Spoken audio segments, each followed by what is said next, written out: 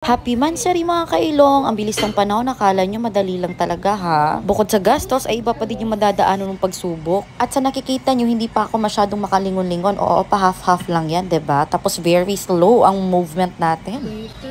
Ayan, sa day 3 natin, medyo nakakapagsalita na ako. Wala na din yung tape na connected sa chin ko hanggang sa cheek. At very minimal and limited lang talaga yung movement na magagawa natin. Laban, ginusto mo yan. For the day 4, ganun pa din. Hindi masyadong magalaw ang upper lip, pero mas masyadong hindi magalaw. Ang jaw ko, guys, kahit sa pagkain, Diyos ko talagang nahihirapan ako. For my day 5, ayan, for the rampa ang first son dito sa labas ng condo na pinagstayan namin. Bali, wala na sa akin yung pagtitingin at kung ano mang pinag-uusapan nila tungkol sa akin nang makita nila ako. Basta importante sa goal na yon ay mapagala ko ang aking anak sa playground at mailigo sa swimming pool. Eto naman yung look ko dito, parang binugbog kung saan saan, hindi ko alam. Ayan, for day 7, suture removal day, excited na ako ma-remove para makita ko talaga ang nose ko. Talagang kating-kati ng ulo ko nito guys, gusto ko na maligo at magpa-shampoo pero talagang hindi pa pwede. Si Nurse Maricar naman ay may sinasabi dito, yes, magkapangalan kami, hindi ko lang masyadong na-focus kasi ayan, nabubisi pa tayo ng pa-video-video dito, ano. And yes, sa wakas day 8, ayan, fresh na, talagang nakaligo na tayo mga mi. And ganun pa din, I still have the bruise na parang kulay tae, no? Diyos ko naman po. Ba't ka kasi uminom ng collagen before sa surgery mo? Sure na, oo.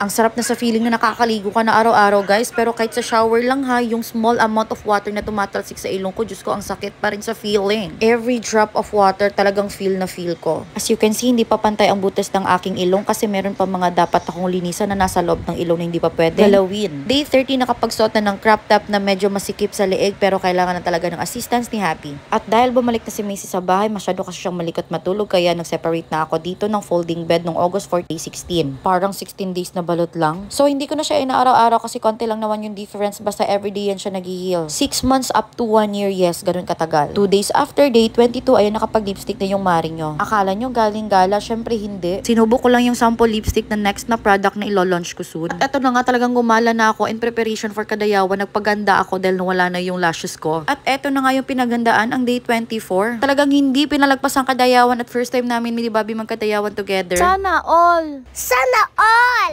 Ayan, for day 28 for the Hilamos na ang first son. Eto namang gamit kong facial foam wash ay launching soon. Of course, abangan nyo this month. Pati yung Gluta Milk Soap with Oatmeal na nire-request nyo. Heto, di rin papatalo ang anak ko. O, oh, ba diba? For the side view din ng first son.